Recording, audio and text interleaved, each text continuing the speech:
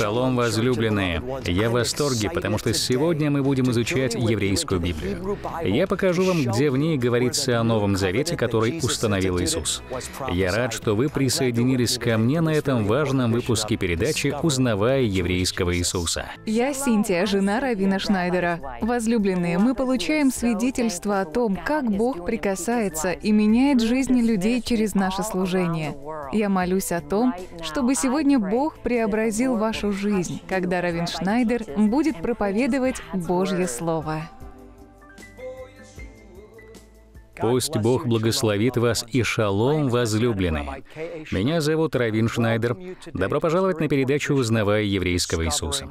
Сегодня мы продолжим цикл, который я назвал «Заветы Писания». У меня не будет времени, чтобы вспоминать все, что было ранее. Это четвертая часть цикла. В прошлых выпусках я рассматривал основания Завета Авраама и Моисея. В прошлом выпуске я говорил о том, как Завет Авраама и Моисея связаны друг с другом другом, я также начал рассматривать Новый Завет. Новый Завет — это завет, который Иисус установил своей смертью, погребением и воскресением. Прямо перед тем, как Иисус пошел на крест, Он отпраздновал Пасху со своими учениками. Когда Он праздновал Пасху, то поднял чашу с красным вином. Красный цвет символизировал Его кровь. И когда Он поднял эту чашу с вином на Пасху, то сказал своим ученикам, это чаша Нового Завета, который я установил для вас в прощение грехов. Возлюбленные, Новый Завет удовлетворяет Божью потребность в справедливости, он должен наказать грех а также его желание проявить милость. Я рассматривал этот вопрос в предыдущем выпуске. Давайте вкратце вспомним это. Библия говорит, что возмездие за грех — смерть. Господь сказал в Ветхом Завете, «Душа согрешающая, она умрет». Мы видим это в самом начале. Когда Адам и Ева согрешили, они умерли. Господь сказал им, «В тот день, в который вы вкусите от дерева, вы умрете». Когда люди согрешают против Бога, они теряют отношения с Ним, связь с Творцом, с вечной жизнью.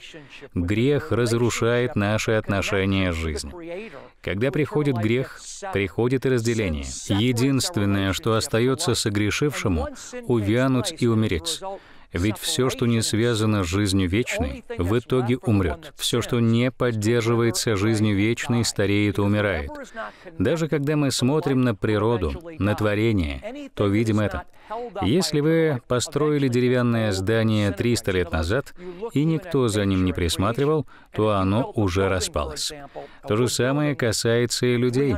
Если у нас нет связи с Богом, с жизнью вечной, то человеческое тело увядает, а душа умирает без Бога. Тогда ее ждет вечное отделение. В Новом Завете, когда Иисус поднял эту чашу, которая символизировала Его кровь, и сказал, «Это Новый Завет в моей крови для прощения грехов», Он имел в виду, что пойдет и умрет вместо нас с вами. Душа согрешающая, она умрет.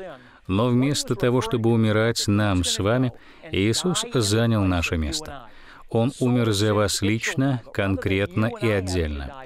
Но если вы приняли Его, вам больше не нужно умирать, потому что Он умер за вас. Таким образом, Божья потребность в осуждении греха была удовлетворена. Все потому, что Иисус умер вместо вас. У Бога больше нет причин судить вас за ваши грехи, потому что Иисус понес ваши грехи в своем теле, когда умер за вас на кресте. В придачу к тому, что Новый Завет удовлетворяет Божию потребность в справедливости, он также удовлетворяет его желание в милости к вам. Его справедливость удовлетворена, поскольку ваш и мой грех искуплен в Иисусе, и Бог может проявить к нам милость, не компрометируя свою справедливость. Эти принципы являются фундаментальными для понимания Нового Завета. Я хочу, чтобы вы меня услышали.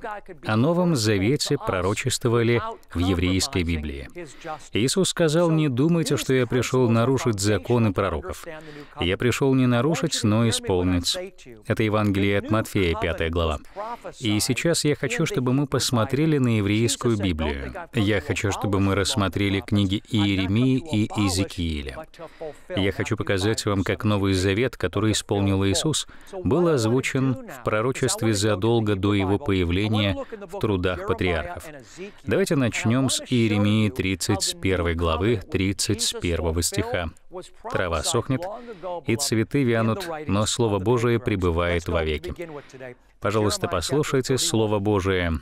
Иеремия 31, 31. «Вот наступают дни, — говорит Господь, — когда я заключу с домом Израиля и с домом Иуды новый завет. Не такой завет, какой я заключил с отцами их в тот день, когда взял их за руку, чтобы вывести их из земли египетской. Это завет Моисея, который мы изучали ранее. Этот новый завет в Иисусе не такой, как завет Моисея. Тот завет, то есть завет Моисея, мой они нарушили, хотя я оставался в союзе с ними, говорит Господь. Мы продолжаем читать. Но вот завет, который я заключу с Домом Израилевым после тех дней, говорит Господь. Вложу закон мой во внутренность их, и на сердцах их напишу его, и буду им Богом, а они будут моим народом. Я хочу, чтобы вы заметили здесь несколько вещей. Во-первых, Господь сказал, что дети Израиля нарушили этот завет, завет Моисея. Господь говорит, «Я был для них супругом, но они не были верны мне». Во-вторых, вы должны услышать вот что. В Завете Моисея закон был написан на каменных скрижалях. В Новом Завете он записан в сердце человека. В-третьих, вы должны знать, что Новый Завет не похож на Завет Моисея. Послушайте еще раз. Не такой завет, какой я заключил с отцами их в тот день, когда взял их за руку, чтобы вывести их из земли египетской. Тот завет мой они нарушили, говорит Господь. Мы видим несколько факторов. Во-первых, завет переходит снаружи, каменные скрижали, вовнутрь. Во-вторых, они не могли соблюсти завет Моисея. А в-третьих, как говорит Господь, этот новый завет, о котором Он пророчествует, не будет похож на завет Моисея. Это ключевые слова. Новый завет, который Господь открывает через Иеремию, не будет похож на завет Моисея. Я хочу донести до вас эту мысль потому, что многие в церкви обращают внимание на еврейские корни веры. И это чудесно. Мы должны понимать свою веру в Иисуса с еврейской точки зрения. Иисус сказал Самаринке в Евангелии от Иоанна, спасение от иудеев. Также Павел в 11 главе послания к римлянам говорит нам, что Писание, которое Бог дал иудеям, подкрепляют нашу веру в Иисуса. Очень важно понимать еврейские корни христианской веры. Но проблема в том, что многие верующие, начиная узнавать о еврейских корнях веры, так увлекаются ими, что это сбивает их с толку. Как сказал Павел, красота иудаизма заставляет их следовать системе веры, которая больше не соответствует Библии. На самом деле, это ересь. Павел уделил большую часть послания к Галатам именно этому вопросу. Вот что я имею в виду. Это доктрина, которая заставляет людей думать, что они должны следовать за Иисусом, соблюдая закон, соблюдая букву Торы закон Моисея. Многие во времена Павла думали, что недостаточно просто верить в Иисуса. Они думали, что должны добавить к своей вере в Иисуса послушание букве закона Моисея. Павел выступал против этого. Он сказал, «А вы получили Духа через дела закона? Или вы получили его, потому что вы поверили в Иисуса?» Павел сказал, «Если вы начали с Духом, то зачем вы пытаетесь добавить к этому дела плоти?» Я еще буду рассматривать послание к Галатам в этом цикле. Если вы действительно любите еврейские корни христианской веры, то очень важно, чтобы вас не искушали учителя, которые учат тому, что христиане должны выучить букву закона Моисея и повиноваться ей. Павел сказал, что если вы сделаете это, то будете прокляты. Ведь если вы начнете отождествлять себя с законом Моисея, как сказал Павел, вы отделите себя от Христа. Вы не будете полагаться на Него в том, чтобы Он выполнил ту работу, которую начал вас. Вместо этого вы будете пытаться дополнить свою праведность делами закона. Павел писал, что в результате этого вас ждет проклятие, ведь делами закона, как сказал Павел, не оправдается никакая плоть.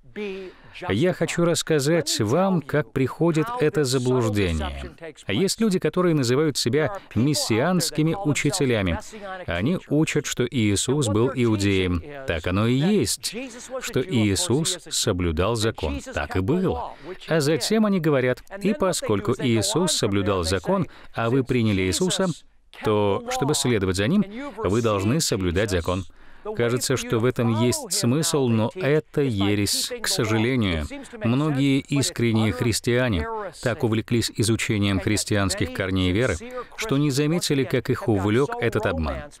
Я буду рассматривать послание к Галатам и покажу вам, как сильно Павел выступает против такого богословия. Возлюбленные, я вспомнил об этом, потому что это связано со словами Иеремии, которые я прочитал вам.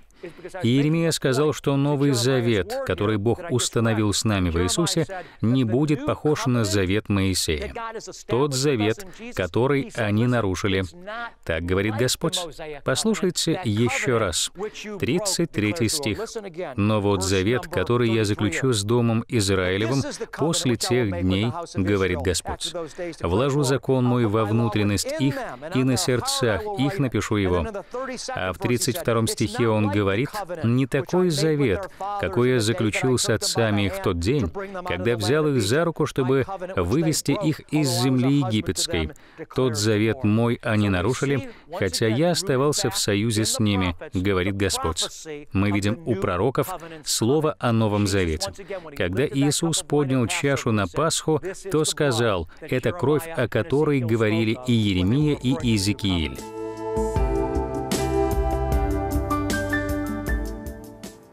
Многие из вас слышали шутку о том, что в нашей жизни можно быть уверенным лишь в смерти и в налогах.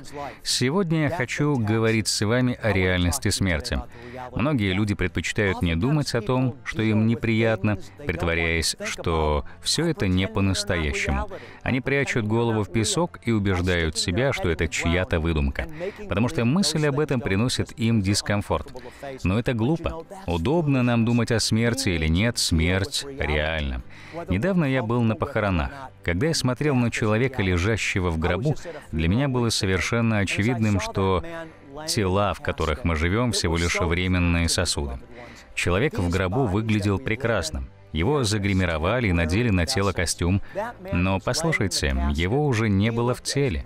Личность, которой он являлся, уже была не там. Правда в том, что однажды нам с вами придется оставить свои тела. Возможно, это будет скоро.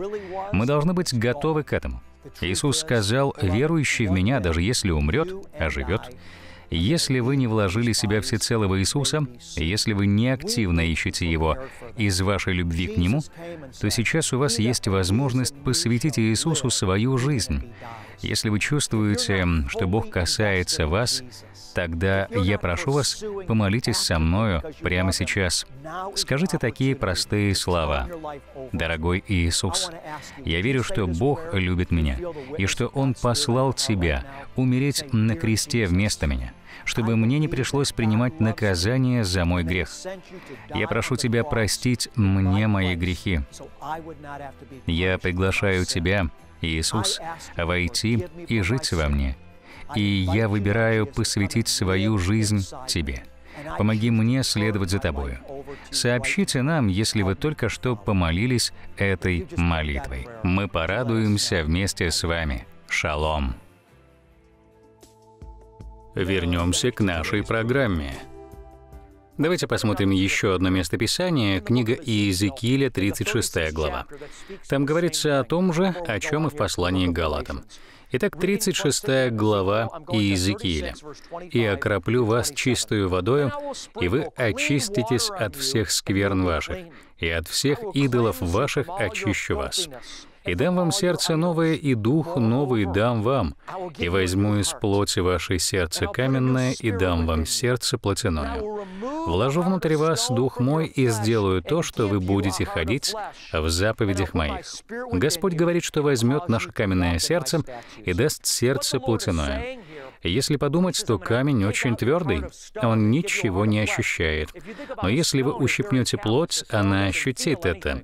Она очень чувствительная. То есть Господь говорит, что Он возьмет наши черствые сердца и поместит в нас свой дух, даст нам сердце плотяное, то есть сердце, которое чувствительно к нему. И снова он переходит от внешнего к внутреннему, от каменных скрижалей к его духу и закону в наших сердцах. Таков прогресс заветов, от завета Авраама к Моисею и Новому Завету. Продолжая изучать Слово Божие, я хочу обратить ваше внимание на послание к евреям, 7 главу. Это послание, которое было написано верующим евреям. Вот почему это называется послание к евреям. И в 7 главе 22 стихе мы видим, что Новый Завет — это лучший завет. Иеремия говорит нам в 3 главе, что наступят дни, когда мы забудем о ковчеге завета, потому что Бог даст нам нечто лучшее. И это лучшее — возлюбленное, которое Бог дал нам с вами — это личность самого Иисуса. Я хочу закончить наше изучение на послании к Галатам 3 главе. Мы будем рассматривать сегодня именно его. Мы рассмотрим, что Павел говорит об отношениях между заветом Авраама — Моисея и Новым Заветом. Я знаю, что это непростое доктринальное учение, но оно важно для тех, кто любит Божье Слово. Я знаю, что это касается многих. Очень важно, чтобы мы как можно лучше понимали Слово Божие. Мы не обязаны быть докторами наук, но нам нужно понимать его как можно лучше. Я пытаюсь объяснить все как можно проще. Давайте открывать Галатам третью главу. Мы будем проходить эту главу стих за стихом. И начнем мы сегодня с пятого стиха. Это Слово Божие, и в нем Павел говорит следующее подающий вам Духа и совершающий между вами чудеса через дела ли закона. Все это производит или через наставление в вере. Почему же Павел задал такой вопрос? Почему он спрашивал учеников в Галатии, «Вы приняли Духа и видели чудеса благодаря Духу или делам закона?» Послушайте еще раз подающий вам Духа и совершающий между вами чудеса, через дела ли закона сие производит, или через наставление в вере. Павел обращается к ним, потому что в этом городе было много людей, которые добавляли закон Моисея и дела закона к вере в Иисуса. У них было смешанное богословие, против которого и выступал Павел. Он говорил так, «Вы начали в духе, так продолжайте в духе, не впадайте в обман, возвращаясь к закону Моисея как способу стать праведным перед Богом». Мы читаем в Писании, в послании к евреям, что просвещенным, однажды вкусившим благость Божью и вернувшимся назад, как говорит Павел, не стоит ожидать ничего, кроме как ужасного суда, потому что они отделяют себя, как говорит Павел, от благодати Божией.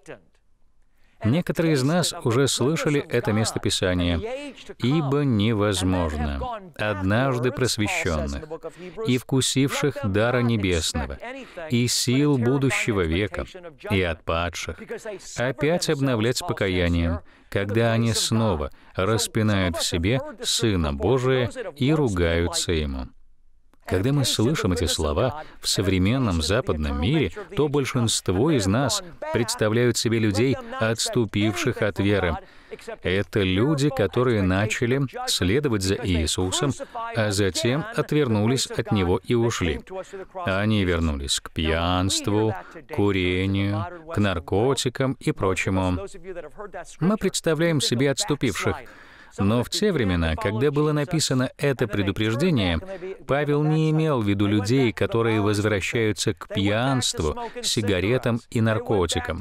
Он предупреждал людей, чтобы те не полагались снова на закон, Он предупреждал их, чтобы они не полагались на свою самоправедность. Он говорил им, чтобы они дальше следовали за Иисусом и искали оправдания по Его благодати, а не по делам плоти. И в послании к Галатам Павел говорит именно об этом, потому что это стало серьезной проблемой в церкви. Многие из нас возлюбленные, поступают так, потому что вы любите еврейские корни веры. И это чудесно. Бог восстанавливает церковь в понимании. Но будьте осторожны с той доктриной, против которой выступал Павел в послании Галатам. Это была доктрина иудействующих. Это были люди, которые приходили к святым и говорили, «Недостаточно просто верить в Иисуса. Вы должны соблюдать закон Моисея. Вот о чем говорил Павел. Так давайте посмотрим далее следующий стих. Теперь он говорит о завете Авраама. Мы рассматриваем завет Авраама, Моисея и Новый Завет. Послушайте, что Павел говорит в шестом стихе. «Так Авраам поверил Богу, и это вменилось ему в праведность». Познайте же, что верующие — суть сыны Авраама. Обратите внимание на то, что весь этот цикл касался отношений между заветом Авраама, Моисея и Новым Заветом. Именно об этом и говорит Павел. В пятом стихе он говорит о завете Моисея, а в следующем, шестом стихе, он говорит о завете Авраама. Он показывает нам, как мы связаны с этими заветами. Завет Авраама базировался на вере. Мы связаны с этим. Завет Моисея основывался на законе и делах праведности. Мы отвергаем это как путь к обретению праведности перед Богом мы не выливаем ребенка с водой из ванны, потому что завет Моисея — это откровение Божие. Он прекрасен и свят. Но мы отвергаем завет Моисея как путь к праведности перед Богом. Мы продолжим. Это захватывающее изучение на следующей неделе. Я подведу итог этому важному циклу. Поэтому обязательно присоединяйтесь ко мне. Я люблю вас. С вами был Равин Шнайдер. Шалом вам от передачи «Узнавая еврейского Иисуса».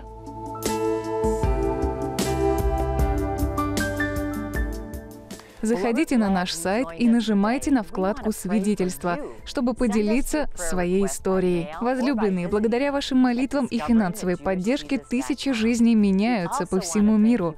Поддерживая нас, вы становитесь партнером Бога в создании Его вечного Царства. Спасибо вам.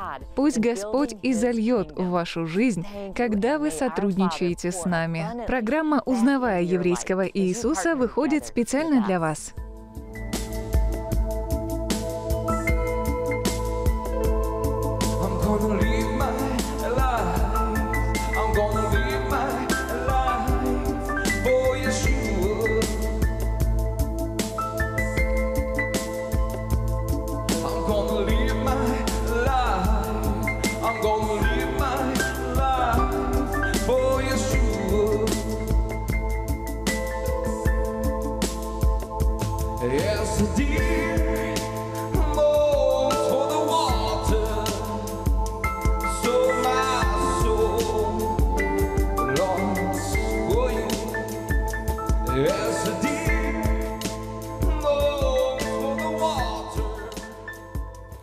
Шестой главе книги чисел Бог Отец сказал Моисею и Аарону, «Произносите это благословение на мой народ, и тогда мое имя будет на них. Возлюбленные дети Бога, я хочу, чтобы прямо сейчас вы приняли благословение своего Отца».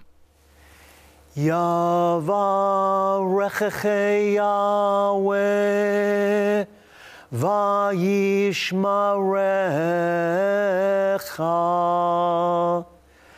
יאר יהוה פניו אליך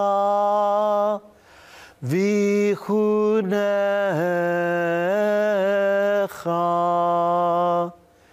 יישא יהוה פניו אליך והשם לך Shalom.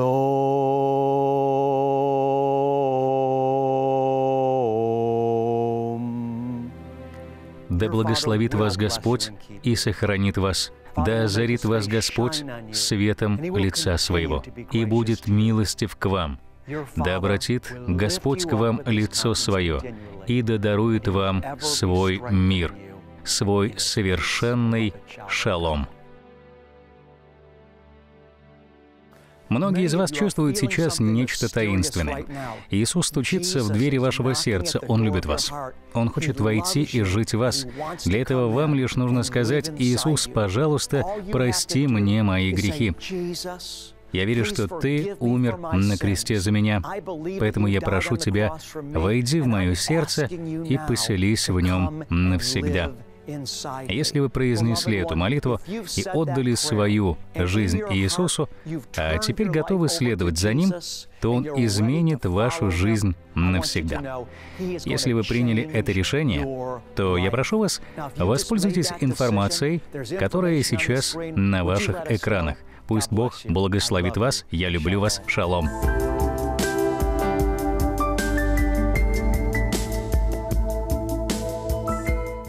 На следующей неделе я синхронизирую все три завета. Завет Авраама, Моисея и Новый Завет. Вас ждет финальный выпуск этого захватывающего цикла. Мне не терпится снова встретиться с вами.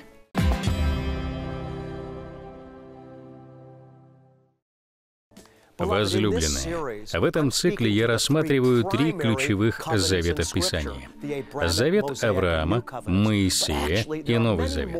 Но на самом деле в Писании есть множество других заветов. Павел говорит о завете между верующими и теми, кто питает их Словом Божьим.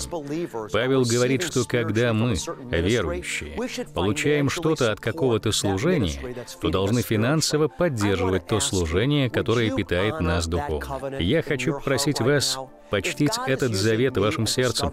Если Бог использует меня и передачу «Узнавая еврейского Иисуса», чтобы благословить вас, укрепить и помочь вам, то ответьте на этот призыв, вступив в завет с нами и поддержав нас финансово. Я люблю вас. Шалом. Если вы хотите стать нашим партнером, то отправляйте свои пожертвования по адресу, который вы видите на экране. Или же вы можете сделать это на нашем веб-сайте. В благодарность мы вышлем вам аудиопроповедь Равина Шнайдера, а также наш информационный бюллетень. Чтобы больше узнать об этом служении, а также ознакомиться с материалами, написанными Равином Шнайдером, и мессианской музыкой от Джошуа Джеймса, заходите на наш сайт. Телепередача Равина Шнайдера «Узнавая еврейского Иисуса» теперь доступна на русском языке на YouTube. Равин – еврейский верующий в Мессию Иисуса. Слушая и применяя принципы этих уроков, вы получите откровение сегодня для вашего лучшего будущего. Посетите YouTube сегодня и подпишитесь на канал «Узнавая еврейского Иисуса». Также убедитесь нажать на значок колокольчика рядом с кнопкой «Подписаться», чтобы получать уведомления и не пропустить ни одного эпизода.